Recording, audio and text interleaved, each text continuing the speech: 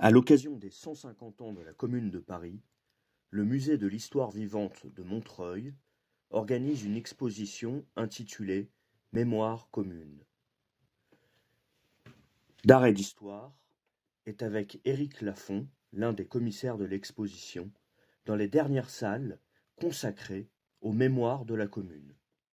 Éric Lafont, commissaire de l'exposition, et euh, vous avez plus particulièrement travaillé sur les mémoires, l'héritage de la commune et euh, son écho international. Tout à fait. Alors là, vous êtes euh, dans une salle internet, enfin salle qui, se termine et qui présente tout ce qui est exil, déportation. On a voulu introduire la salle suivante par ce tableau, cette peinture de Ernest Picchio.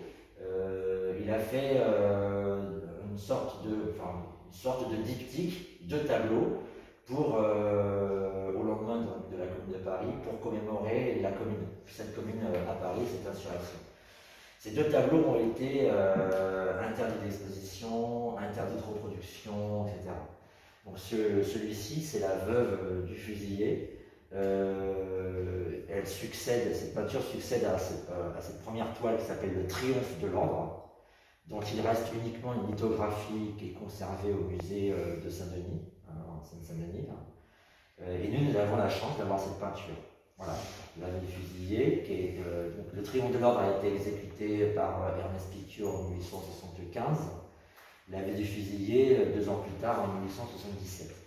Donc c'est un tableau très important quand on étudie la mémoire de la Commune de Paris, parce que Picot présente le mur des fédérés, qui va être euh, ce lieu de mémoire hein, jusqu'à récemment. Puisque, euh, encore cette année, euh, il y a la montée au mur des fédérés depuis la place de la République jusqu'au mur des fédérés. Tout à fait. Donc vous n'avez pas l'inscription sur ce tableau qui date de 1877, parce que l'inscription qui est sur le mur des fédérés date de 1908, mais vous avez ce mur vers lequel, auprès duquel, au pied duquel, cette femme, veuve donc, se rend euh, avec ses deux enfants. Et vous avez donc euh, la couronne mortuaire tenue par les enfants. Euh, donc, à notre père. On imagine, voilà, sur laquelle on peut lire à notre père. Donc on imagine bien que cette femme vient vers cette fosse commune où il y aurait donc 147 exécutés qui auraient été exécutés contre ce mur d'enceinte du Père Lachaise le 27 mai 1871. Et on voit d'autres couronnes. Voilà, on voit d'autres.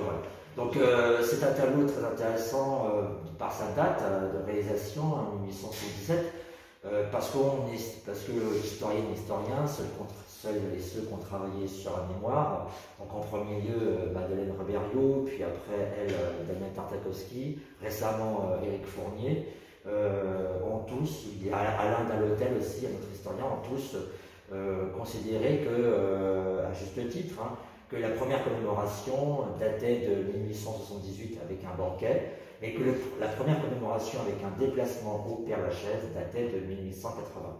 Après l'amnistie des communards, c'est aussi ce qui rend Après, ces commémorations possibles dans l'espace public. Tout à fait, voilà. Et donc euh, on a installé ce tableau dans cette salle-là pour inviter le public après à poursuivre la, la, la salle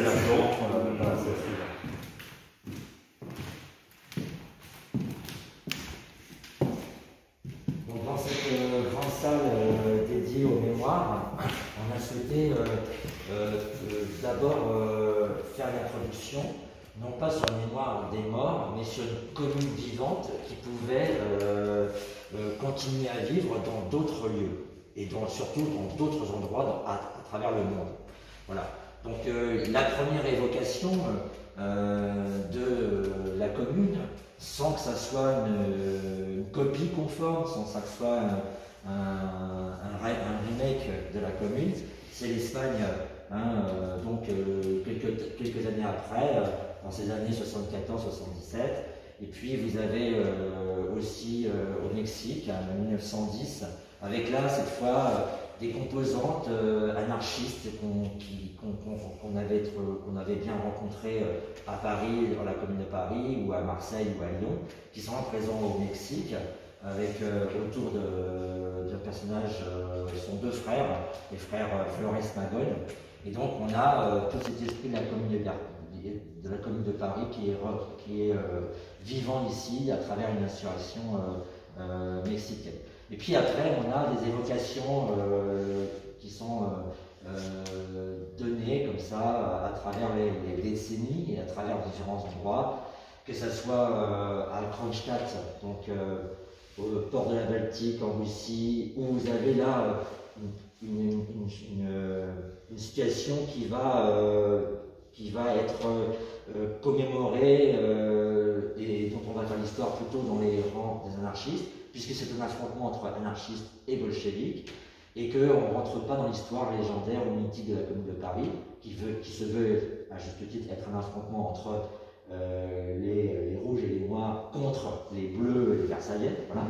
Donc vous avez Kronstadt en 1921, mais vous avez en 1918-1919 une insurrection à Berlin avec les communistes euh, dans, la, dans, la, dans, la, ligne de Lénine qui euh, parlent aussi de communes et qui font référence à la commune. Puis après, on a multiplié des exemples comme ça. Barcelone, de Barcelone, pendant la guerre etc. Et puis vous avez donc une évocation via le cinéma, naturellement, ou le spectacle euh, que ce soit aux États-Unis, à New York, on parle énormément de communes, de la commune de Paris.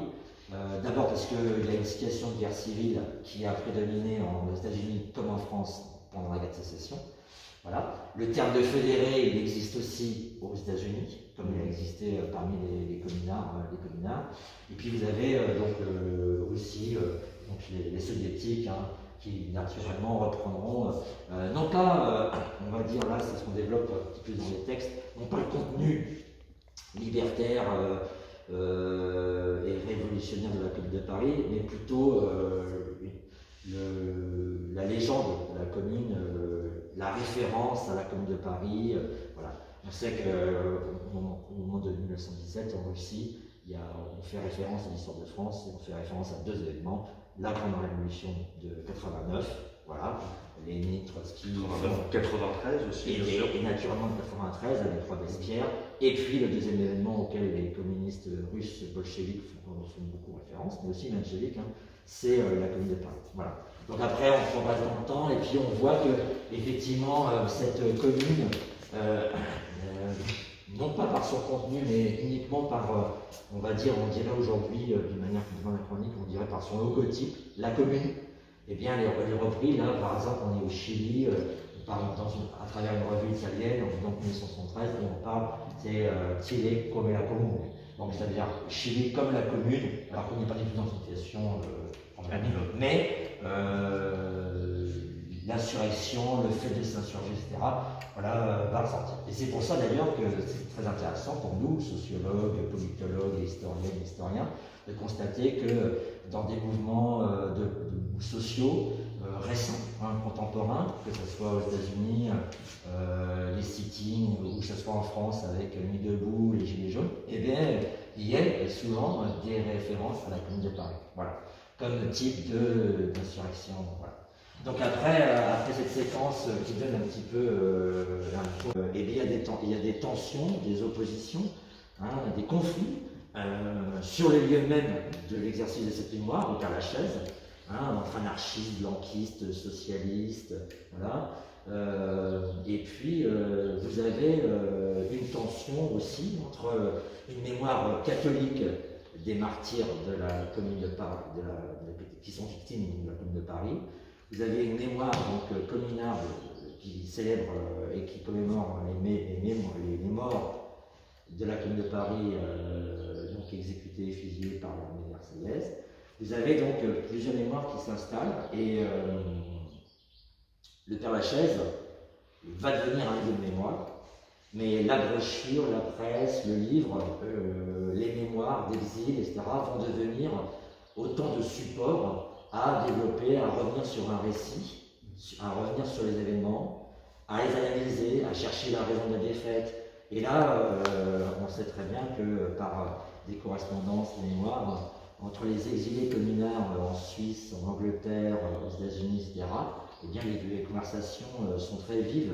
Il y, a des grosses oppositions entre eux sur euh, justement ces survivants la Commune de Paris qui ont fui, hein, qui ont eu raison de fuir parce que s'ils étaient restés, ils auraient été euh, euh, soit fusillés illico presto, parce que celles et, celles et ceux dirigeantes ou dirigeants de la commune ont été exécutés, un militari dans de Paris. Hein. Mmh. D'autres ont eu la chance d'avoir un procès et d'avoir été emprisonnés ou déportés.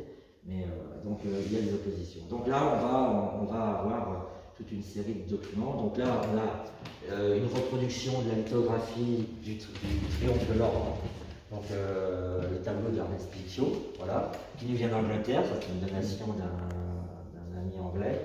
Vous avez une reproduction, parce que le journal euh, L'égalité est un vieux, très vieux journal et qu'on ne peut pas l'abîmer pour l'exposer, donc vous avez une reproduction. Donc là, on est en 1880 et donc on, a, on pose la manifestation traditionnelle à laquelle vous faites référence. Vous avez ici un document euh, d'inspiration, donc euh, journal anarchiste, dans lequel Louise Michel écrit plusieurs articles, qui s'appelle La Révolution sociale, Regard anarchiste, anniversaire de la commune. Voilà, la commune s'installe voilà, à travers euh, la presse, mais à travers une littérature très très importante. Contrairement à l'idée reçue, il y a énormément, énormément d'ouvrages qui vont sortir de 1871 dès l'été 71 jusqu'à nos jours commune de Paris. Beaucoup d'ouvrages illustrés, beaucoup de mémoires, beaucoup de romans, euh, de la chanson, des poèmes, etc. Euh, ce qu'il y a, c'est que toutes les mémoires s'expriment à travers ces différents supports. La mémoire anticommunale, versaillaise, catholique, droite catholique, droite, droite conservatrice, des, mémoires anarchistes, la mémoire anarchiste hein, qui qui est très active hein, au lendemain de, de 71. Les mémoires socialistes au départ, euh, avec beaucoup de groupements socialistes très divers, avec euh, de multiples scissions, puis un seul et unique parti socialiste à partir de 1905 autour de Jean Jaurès et d'Edouard Vaillant. Voilà. Euh, et donc une mémoire socialiste. Et puis à partir de 1920, hein, le congrès de Tours, la scission du Parti socialiste, la naissance du Parti communiste, vous avez mémoire communiste qui va euh, s'installer euh, dans le paysage, on va dire, et qui va avoir un certain euh, allant. Il y a une dynamique, il y a un, propagandisme communiste qui vient de l'agit-prop bolchevique, etc., qui va, être, qui va dominer la commémoration dans toutes ses formes. jusque dans les années jusqu'à 1971, jusqu'à la date du centenaire. C'est ce qu'on a voulu euh, ici retracer très rapidement. Hein. Euh, il, y a, des milliers et des milliers de documents. Là, vous en avez quelques-uns. Donc, vous avez ici les commémorations euh, des catholiques, donc pour les otages. Voilà. Ce sont des commémorations et ce sont une, une histoire de la commémoration qui a été oubliée ou mise de côté beaucoup par l'école par l'école historiographique française euh, ancré à gauche, on va dire, hein, pour ne pas employer un mot euh, vulgaire, très marxiste. Hein, voilà, aujourd'hui. Ça revient, ceci dit, puisque euh, le diocèse de Paris a organisé des processions cette année. Oui.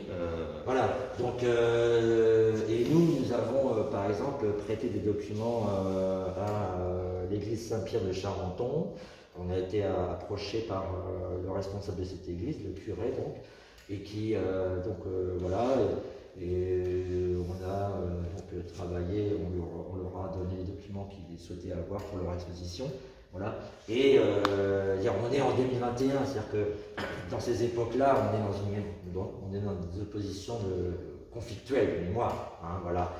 quand la droite catholique défile dans Paris, eh bien, vous avez la gauche qui est sur les trottoirs et il y a des affrontements. Euh, des, vrais affrontements, pas une, gifle, hein, des affrontements euh, violents, euh, très violents, qui vont perdurer pendant très très longtemps, très longtemps.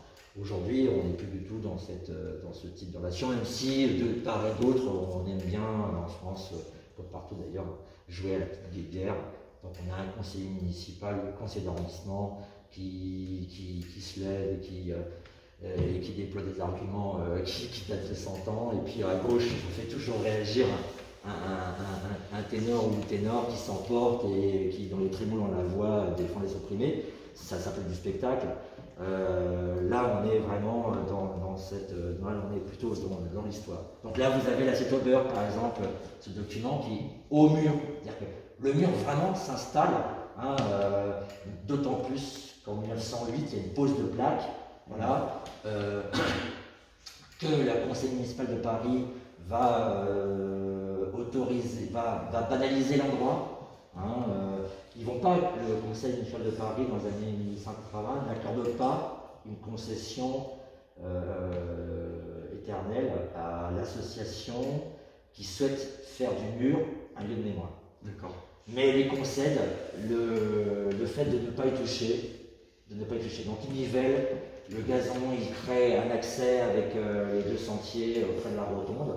Voilà. Donc le mur devient un le lieu mémoire. Et donc on voit à travers cette odeur, hein, c'est un numéro qui date de 1905, je crois.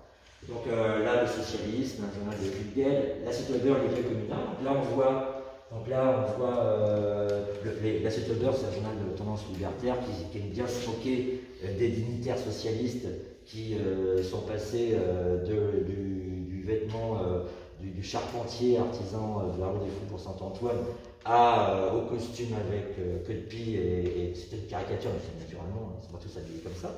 Mais euh, reste et vaillant porte le chapeau de forme, euh, la redingote, ils sont habillés, ils sont députés. Et là, on voit bien donc, la plaque qui a été posée aux morts de la commune, aux morts de la commune. Pas aux victimes des Versaillais, pas aux martyrs communaux, aux morts.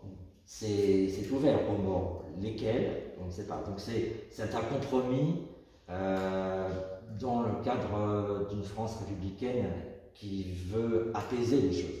Hein. Euh, il faut attendre les historiennes et les historiens. Dans les années 1900, ben, le premier, c'est, on va dire, Georges Bourgeat, grand historien, qui en 1939 sera un, gros volume très illustré, et dans lequel on va pouvoir lire qu'il y a eu un massacre dans Paris.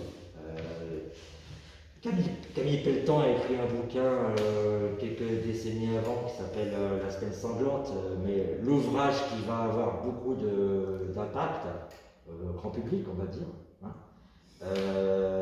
ce, sont les ouvrages de, de Bourgeat. Et cette idée du massacre, cette idée d'une guerre civile entre Français qui en quelques jours aurait fait, parce qu'il y a discussion encore aujourd'hui sur le nombre de morts, entre 8 000 morts jusqu'à 20 000 morts, euh, c'est un traumatisme, euh, pas uniquement pour l'histoire, euh, pas uniquement pour la mémoire des gauches, mais un, traumatisme pour la nation, pour le pays.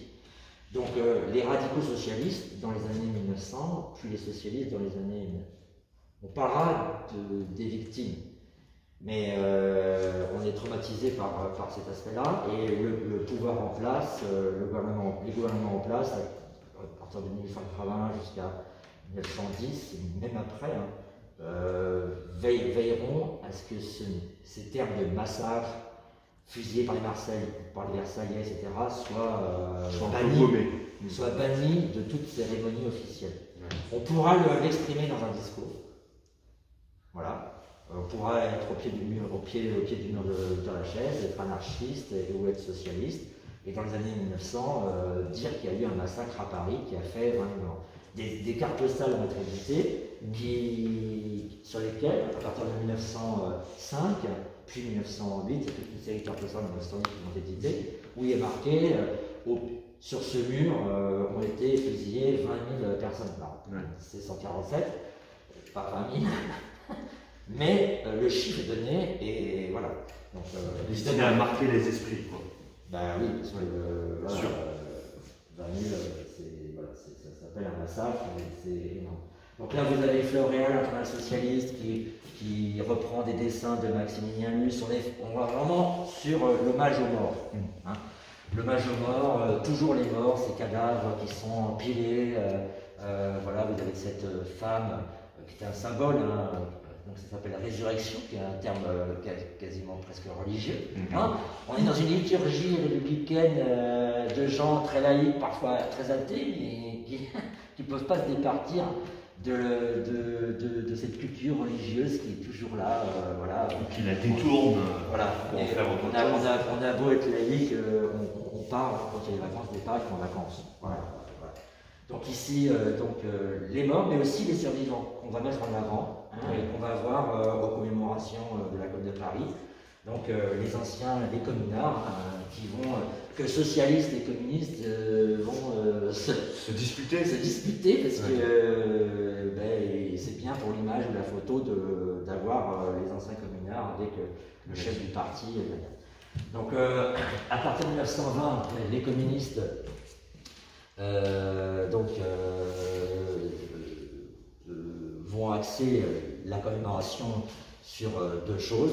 Tout, naturellement, la semaine sanglante, les massacres, les morts. Donc, ça, ils reprennent ce qui était fait auparavant.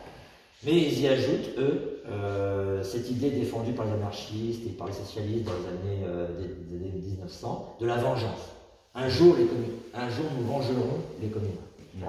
Et eux, les communistes, reprennent cette vengeance et euh, et, euh, en font, euh, un, acte, un axe de propagande pour expliquer, mais les communards ont été vengés.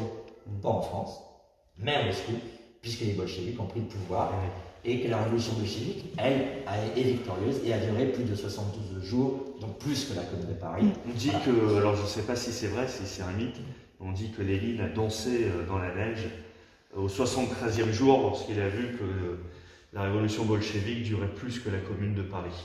Moi, je fais partie de ces historiennes et de ces historiens qui sont euh, très pénibles, parce que j'adore les histoires de science-fiction, j'adore les contes et légendes, mais dès que je me mets au travail pour l'histoire, je, deviens triste et chiant. Et donc, euh, moi, j'ai pas, on n'a aucune preuve de, ça. Bien sûr. Voilà.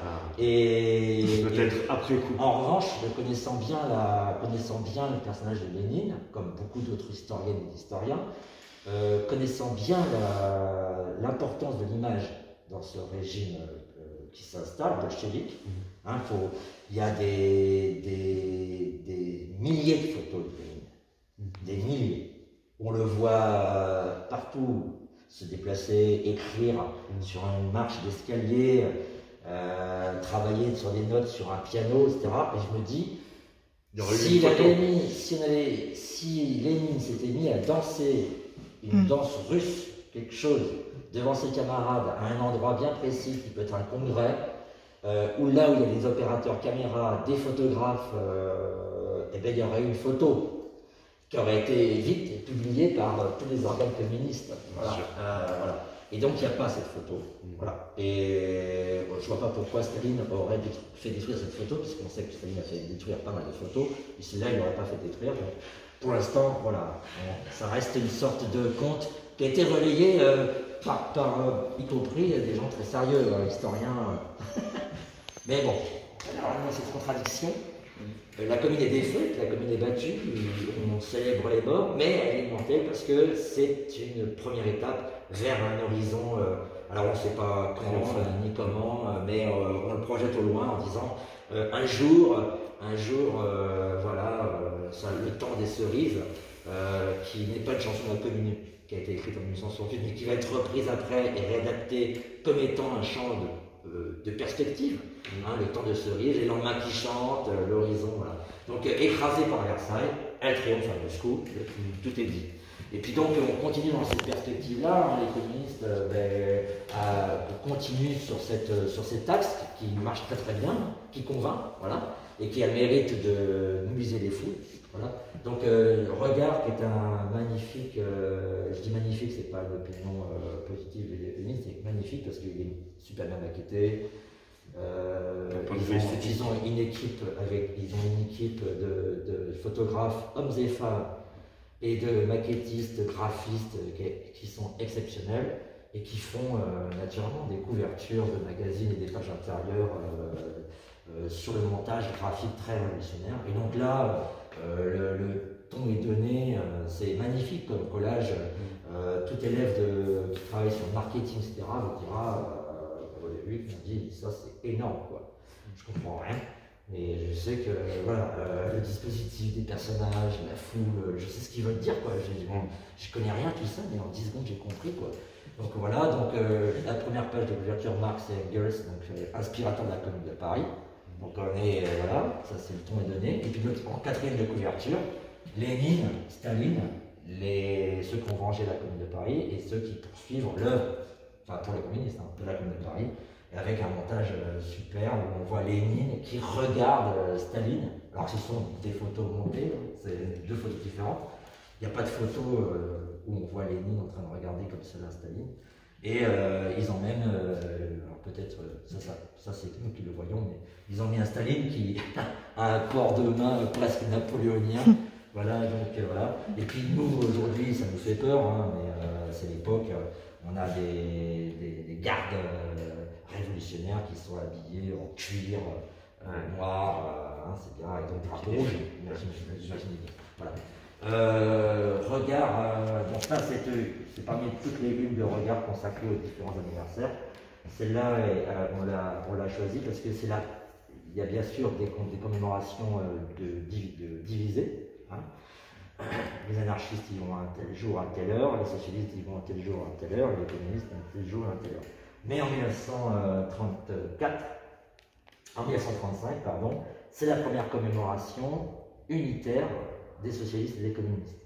On est dans le Front populaire, qui est en train d'être construit. Et donc là, vous avez euh, sur la photographie Maurice Thorez, euh, Léon Blum, voilà, le chef de la SFIO, Parti Socialiste, et puis ici Maurice Thorez, et puis naturellement, ici, au premier rang, les, anciens communards. Les, anciens communards. Nous sommes au Père Lachaise, nous sommes devant le mur, on, on, voit bien la plaque derrière. Voilà. Et donc ça, cette commémoration, euh, voilà.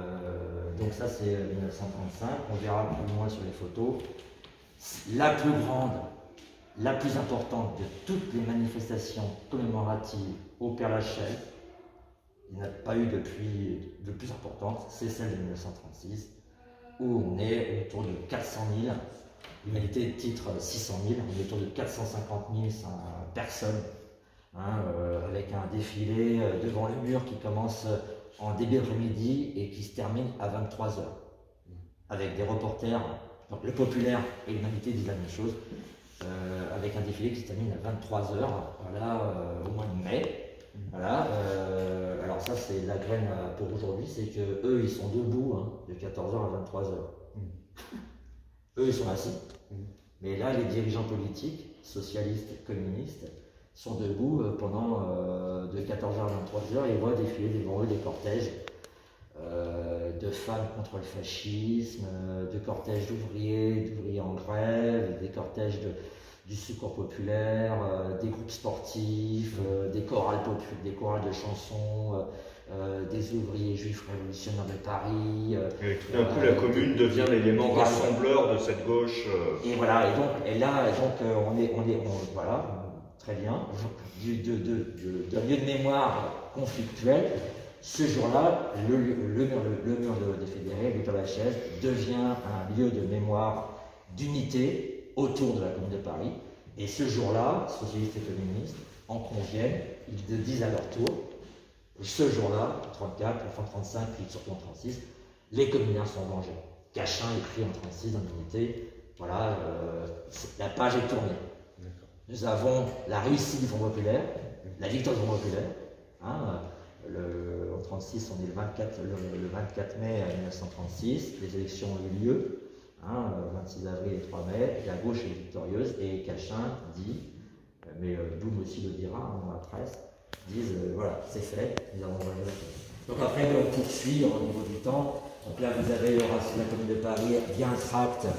Euh, 1945. Mmh. Donc là, euh, on associe les fusillés par les Allemands de la résistance aux fusillés par les Versaillais, hein, voilà. Le, Parti communiste, euh, comme le Parti socialiste, euh, n'arrête pas d'expliquer que euh, les, collabos français héritent des Versaillais d'hier, comme les Versaillais héritaient des, nobles de Koblenz de la Révolution française. On, a, on aligne, on superpose on fait une sorte de théologie. Voilà, on superpose des couches historiques et on fait une sorte de récit. voilà. Donc là, euh, vous avez toute une série de documents qui vous montrent aussi euh, que la commune, eh bien, elle fait, euh, elle fait le lien, et aussi le lien avec d'autres révolutions du XIXe siècle. Et là, vous avez donc là, une allusion très forte au Gavroche du tableau de, la Croix, la liberté est dans le peuple. Là, on est plutôt donc, dans les journées révolutionnaires de 1830. Voilà. On associera aussi la commune comme étant la seconde révolution après celle de juin 1948. Ce qui fait que quand on arrive dans les années après 1900, on fait un bond dans le temps et qu'on arrive en 68, et eh bien en 68 ça tombe bien, en 68 c'est une année euh, où on va, pouvoir et faire référence à juin 48 et surtout faire référence à la commune. Hein, Daniel Cohn-Bendit, dans le Nouvel Observateur, euh, est interviewé et, il parle de la commune étudiante donc ça tombe bien, puisque lui il est anarchiste, et il dit, contrairement au récit communiste, il dit la commune, c'est pas un parti d'avant-garde avec un chef suprême qui dirige le peuple. La commune de Paris, c'est le pouvoir du peuple auto-organisé qui euh, a des délégués qui peuvent, être révoqués à tout moment. Voilà. donc, lui, il insiste sur cet aspect libertaire de la commune de Paris, mais pas sur cet aspect euh, jacobin ou blanquiste. Euh, d'une élite euh, organisée et dirigeante. Donc euh, ici, ben, en plus en 68, eh ben, l'extrême gauche, euh, l'extrême gauche, la, révolution la révolte étudiante contestent l'autorité des partis de la gauche traditionnelle. Hein. On voit sur les images, il y a un décalage très fort entre ces jeunes. Alors, plutôt hommes, parce que sur les photos, on voit souvent que des hommes euh, qui dirigent, des, qui font des caractères, très peu de femmes, sinon sur les épaules, pour faire, pour, faire de la photo. Voilà. Euh, et donc on a cette gauche traditionnelle de, de, de, Guy, de Mollet, de Jacques Duclos, de Mal Crochette, qui, qui sont des hommes d'hier, en 68, qui sont très vieux, euh, voilà, par rapport à ces jeunes qui sont donc là, euh, ici, vous avez un ensemble de documents autour du centenaire. Donc vous avez donc, euh, la vie ouvrière, euh, la société, qui a choisi un bateau de Stellen, donc une sorte de barrière rouge, mm. hein, un rouge, qui donc adossé à un mur, comme s'il était fusillé, incarnant à elle seule tous les fédérés. Le journal de la CFDT, euh, qui est très partie prenante justement euh, dans en 68 sur tout ce qui est autogestion, fait sa couverture avec une gravure de l'époque, mais à l'intérieur consacre plusieurs pages justement cet aspect euh, révocation des élus, auto-organisation, petit quartier, donc naturellement, on est en 71, 68 c'était hier, juste hier. Ça rappelle que la CFDT était un syndicat plus révolutionnaire que ce qu'il n'est maintenant. Ah, rien à voir. Voilà, c'est aussi intéressant du point de vue de l'histoire. Euh, c'est une, voilà, c'est une, ben, une, une, confédération syndicale qui, a, donc, qui, crée, qui est toute jeune, hein, qui est créée en 1964 et qui, euh, en 68, se retrouve avec un, le plus grand mouvement social de toute l'histoire sociale française, hein, en 68, hein, à peu près 7 à 8 millions de, salariés, euh, hommes et femmes en grève. Euh, donc euh, elle développe toute cette activité-là, tous ces actes politiques qui la lient à la Commune de Paris. Vous avez le journal de, la Ligue communiste, donc dirigé par Krivine, Ben Saïd, Henri Weber, donc le journal rouge. Donc le E, ben, alors ça c'est le, petit événement de, de 71, c'est qu'ils font contre toute attente, enfin pas contre toute attente, mais, mais ils font une grosse manifestation en mai 1971 euh, dans la rue de Paris, avec euh, énormément de banderoles, des sections de province. On est juste après 68, elle aussi, donc cette extrême gauche, elle est portée par ce mouvement-là, avec un parti communiste qui est euh, affaibli, avec 68 Prague, et puis une vieille machine qui, commence à, à se rouiller, disent-ils. et donc, eux, ils occupent le terrain. Donc on a des bandes d'archives, beaucoup de films, quelques films dessus, puis des photographies qui montrent effectivement toute une jeunesse euh, dans, cette, dans, ce, dans ce cortège où on voit Che Guevara, les Luxembourg, des délégations allemandes, suisses, belges, etc. donc ils reprenant cet aspect de commune, euh, révolution, des opprimés, internationalisme, etc. Le Nouvel Observateur, qui est un journal de la gauche, euh, d'une nouvelle gauche, né au moment de 68 aussi, euh, autour de Michel Rocard, de Canades France, de Nouvelle Gauche, de gestionnaire, proche de la CFDT, etc. Donc là aussi, il reprend une gravure de, l'époque euh, pour le centenaire et ils affichent un titre La commune vivante. Voilà. Pour les historiens et les historiens, 1971, le centenaire, ben, justement, c'est l'inverse. Quand on analyse les choses, c'est quand même le crépuscule. Quoi. Ouais. C'est voilà, ça sent quand même la fin. Euh, le Parti communiste français, euh, on estime à peu près à 60 000 personnes dans la rue. CGT et Parti communiste français ensemble, voilà. Euh, la Ligue communiste avec lutte ouvrière fait 15-20 000. On est très très loin Les des, 600 000, des, des, de des 400 000, 600 000, des 36, euh, voilà. Et, on, a- on- on- et, voilà. et, 60 et, justement, et justement, après 71, eh ben, les manifestations, euh, elles vont euh, Décliner. décliner, la commémoration va décliner, le mode opératoire, hein, déjà, euh, enfin, cette, cette liturgie qui, qui date, qui date n'est plus en vogue aujourd'hui. Puis la mémoire orale s'efface. Les mémoires orales s'effacent et puis le monde est en train de changer. euh, voilà, et la commune peut. Et la, et il y a, il y a les révolutions en Amérique latine, il y a d'État en Amérique latine dans cette période. euh, voilà, il y a la, la guerre Vietnam euh, qui, qui mobilise énormément la jeunesse, des, jeunesses du monde. Il y a le stalinisme euh, qui réprime à, à Prague, qui réprime à Varsovie. Il y a une lutte entre voilà, il y a des courants anarchistes qui renaissent, etc. Donc on n'est plus du tout dans une époque euh, qui peut faire référence à la commune. Donc naturellement, la commune, elle reste dans le souvenir, en mémoire, etc. Dans le souvenir plus, plus beaucoup parce qu'il n'y a plus beaucoup de survivants, même plus du tout. Euh, mais, en revanche, euh, elle va rester comme une sorte de, euh, de page mythique de, cette, de, ces gauches et au-delà de ces gauches. Parce qu'on va voir aussi des manifestations, même, même dans les années 1985, euh, au moment de la crise boulangiste, on a des nationalistes qui vont déposer des gerbes euh, au mur des fédérés pour, déf- pour euh, eux défendre euh, le patriotisme que les, dont les communards ont fait preuve pour défendre Paris contre les Prussiens. Ouais. Alors que le gouvernement républicain, lui, avait capitulé. Voilà. Donc euh, on a... euh, Il y a une tentative de récupération on de la une commune, y compris par l'extrême droite. qui peut être, qui peut être, qui peut être captée par euh, différentes mémoires autres que celles de la gauche traditionnelle. Donc on l'a vu pour l'extrême gauche, et naturellement pour les anarchistes, parce qu'ils eux, ils ont vécu, c'est c'est une part de leur héritage, une grosse part de leur héritage.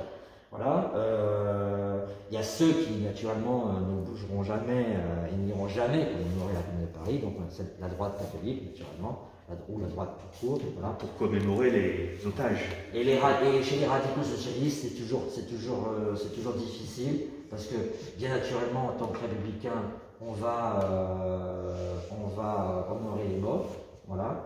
Euh, Mais en tant que parti de gouvernement mais- et d'ordre, euh, la Commune de Paris, en tant qu'espace politique, ne peut pas être défendue par un radical socialiste qui lui défend la République parlementaire, etc. Alors, ce qui est intéressant, ce sont les bouger justement par rapport à ça, par rapport à ce trauma. Et euh, ben, il faut attendre. et on a, par exemple, à notre grande surprise, c'est le président du Sénat en 2003, de droite, qui fait, au, dans, les organes de Luxembourg, donc en 2003, euh, non pas l'éloge de la commune comme insurrection révolutionnaire, etc., mais euh, qui dit que ce jour-là, cette semaine-là, la République a fauté. La République a massacré. Elle a massacré qui? D'autres Français, qui ne pensaient pas comme elle. Et là, c'est une première carte. Là, on est, sorti avec cette intervention du président du Sénat, donc euh, inscrit dans la droite parlementaire.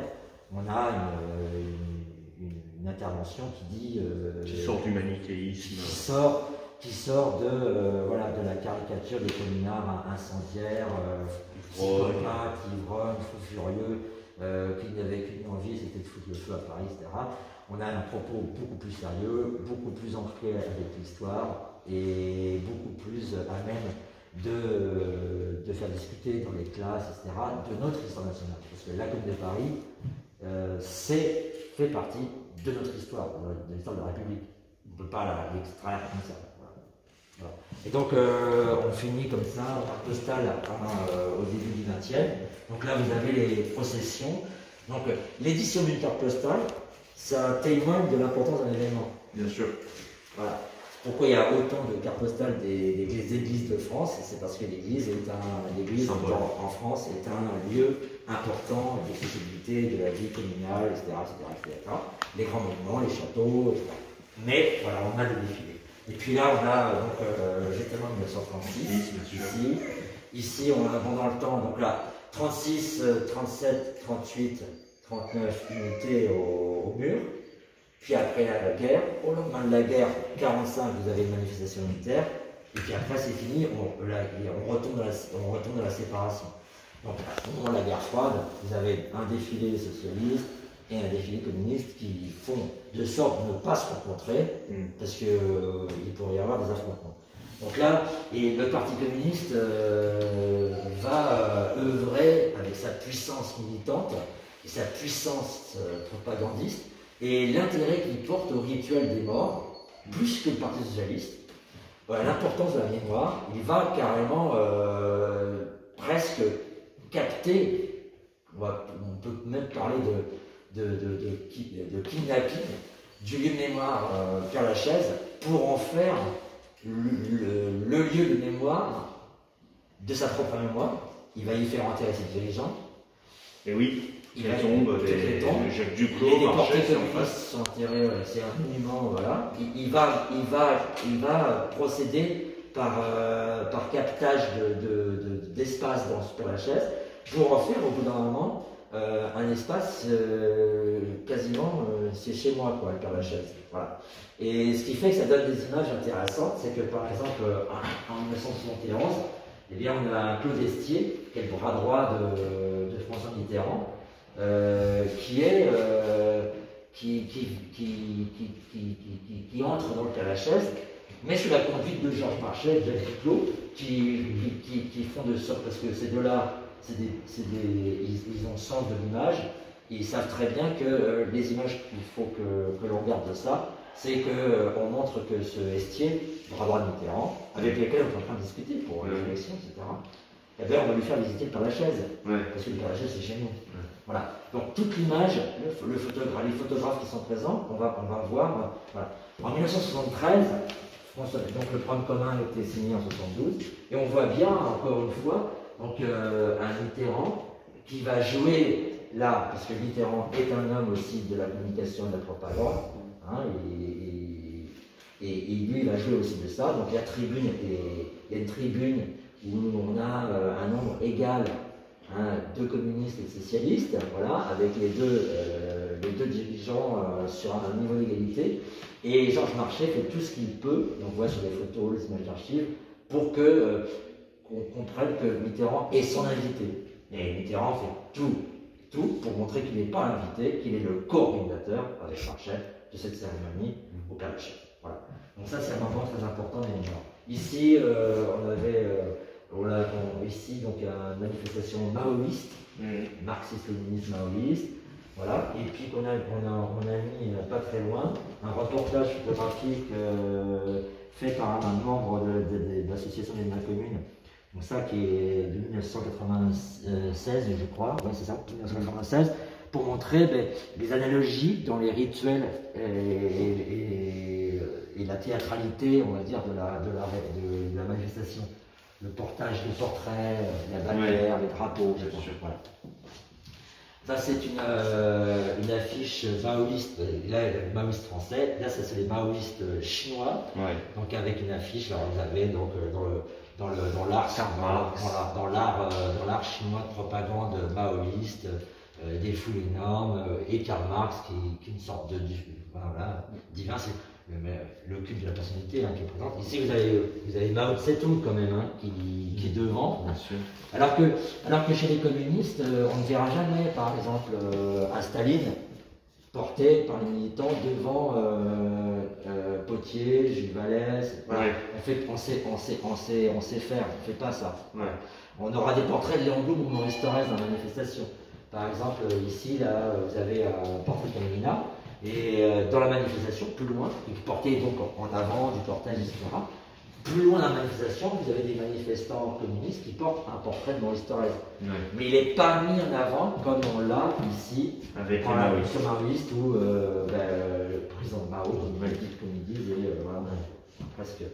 Culte de la personnalité. euh, Voilà, que les communistes ont eu, mais que dans ces années-là, 62 ans, ils ont abandonné et non plus. Voilà. Donc voilà, à, à ça justement, l'association des amis de la commune, on voit euh, le numéro 1 de leur, de leur qui reprend un dessin de Steinlen. Intéressant, ils auraient pu reprendre un Picot, ils auraient pu reprendre un Maximilien Luce, ils auraient pu reprendre beaucoup de dessins qu'on a vus, etc., ou de gravures qui font référence à la commune. Ils ont choisi, en revanche, ils ont choisi cette euh, commune mise en perspective. Hein, le dessin de Steinlen, c'est euh, l'avenir de demain. Hein, ça, voilà, ça ne se pas représentatif d'une scène exacte, c'est une perspective. Voilà, la révolution sociale, c'est elle, c'est un symbole, et elle, est, euh, elle porte au devant de la victoire euh, le paysan euh, et puis l'ouvrier avec toute fortune. Et puis là, bon, pour finir, alors, moi j'aime beaucoup les analogies d'images. Donc vous avez ici une affiche qui date donc fin 19e, début 20e. Vous avez un, un, un soldat de l'armée régulière, donc Versailles a toujours de blanc-rouge, et euh, qui monte sur une barricade défaite, et vous avez un communard battu, affaibli, blessé, qui hoche la tête, voilà, qui tient son drapeau rouge quand même, debout, mais le fusil est abaissé. Lui, il nous regarde, voilà, c'est la victoire. Il n'y a pas de mépris, il y a une sorte de respect de, l'homme battu, euh, du, vaincu. Mais, euh, et donc, ce qui est intéressant, c'est qu'Alternative Libertaire, qui est un journal euh, d'un groupement anarchiste aujourd'hui, hein, reprend, il y a trois, trois affiches, et, ils reprennent celle où il y a uniquement le communal. Voilà. Parce que voilà, ça c'est intéressant. Et puis on a, on a voulu terminer par aussi d'autres euh, évocations de l'histoire de la Commune de Paris, du mémoire, à travers la bande dessinée, les DVD, euh, voilà. Pour montrer euh, justement, voilà, et pourtant le coup, c'est cette idée que tout aurait été fait pour enfouir la Commune de Paris dans l'oubli. Ben non, justement, il faut, il faut reconnaître, il faut reconnaître ce travail de ces gens, de ces groupements politiques, à, justement avoir fait euh, à maintenir euh, cette histoire. Euh, voilà.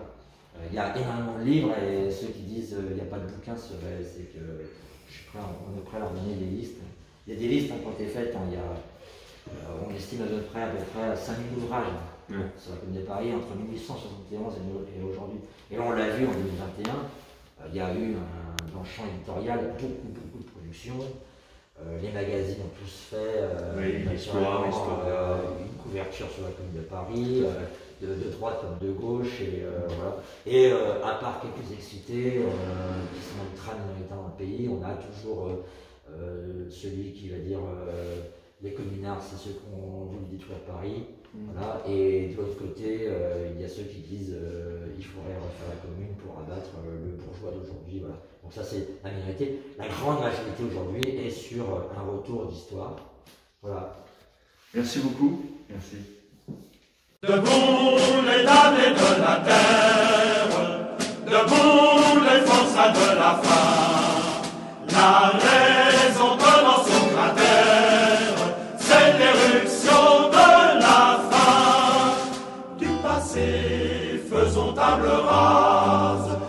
l'esclave, debout, debout. Le monde va changer de base, nous ne sommes rien, soyons